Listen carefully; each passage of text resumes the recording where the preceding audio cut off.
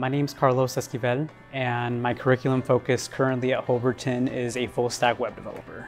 So before Holberton, I was actually in the middle of a gap year that I had decided to take before I was going to attend a traditional four-year institution. However, uh, I couldn't find any scholarships that were available at the time, so I kept looking for other alternatives to pursuing an education within the computer science field.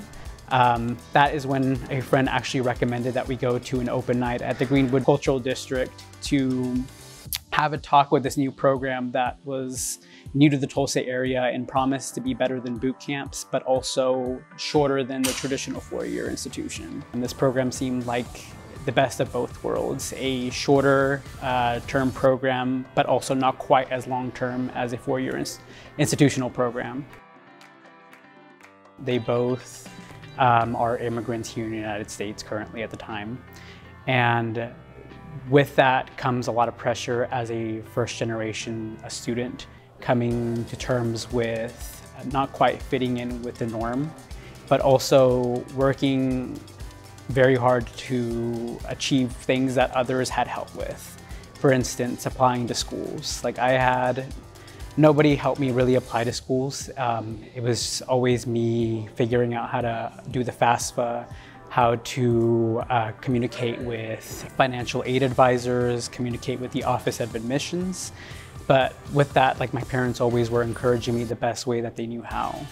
Uh, always telling me that I could do anything that I set my mind to. And I truly believe that because if I had given up on this program, I wouldn't be here today. So I just keep that in the back of my mind anytime that I'm doing anything that tends to be out of my comfort zone. Basically going into the unknown and doing the best that I know how and using the resources that I was given to um, come out in the end. Yeah, um, I definitely would say that Holberton has been the thing in my life at this point that has currently challenged me in every way that I know how. It's challenged me both intellectually, socially, and uh, emotionally as a student.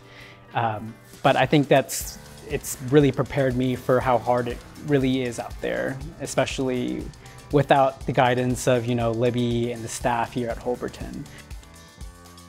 You know, coming in and seeing the diverse amount of people, like people from all different ages, backgrounds. Um, I, it was it was honestly quite like nothing I had ever really experienced here in an Oklahoma school. There was just so much bountiful diversity in both like thought pattern and way that people uh, see and perceive the world, which is such a valuable tool, especially in a field like this, where you know we're constantly solving problems that require different points of views.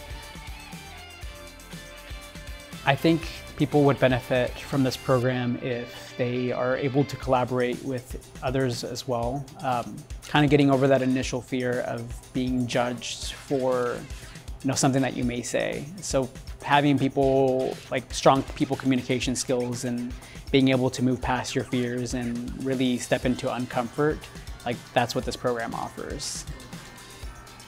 Honestly, I, I would, the best I would hope for is like to provide like someone who looks like me and maybe doesn't think that they can do this, that they do have the ability to do it. It's just going to require patience, time, and dedication. And you know, you'll experience all the things that I did, or maybe you won't. You'll face the imposter syndrome and you know, feeling like you aren't well represented, but also like you, you have to be able to push past that and know that at the end of the day, you're stronger than you think. So um, that's definitely what I want to leave for people.